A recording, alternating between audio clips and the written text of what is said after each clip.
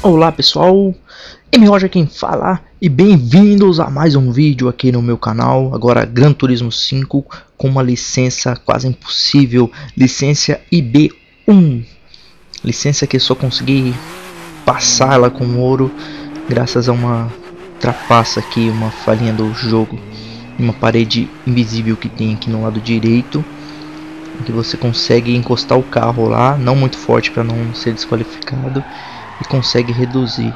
Mesmo assim eu quase não consegui passar, porque se o carro derrapa, você, fica mais difícil para você parar o, o veículo. E essa dica eu peguei no Complexo GT.